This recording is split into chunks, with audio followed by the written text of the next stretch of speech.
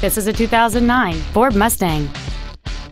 It has a 4.6-liter eight-cylinder engine and a five-speed manual transmission. Its top features include cruise control, full power accessories, a rear window defroster, a premium audio system, a multi-link rear suspension, 17-inch wheels, a rear spoiler, a low tire pressure indicator, a keyless entry system, and this vehicle has fewer than 20,000 miles on the odometer. Please call today to reserve this vehicle for a test drive. Helfman Ford is dedicated to doing everything possible to ensure that the experience you have selecting your next vehicle is as pleasant as possible.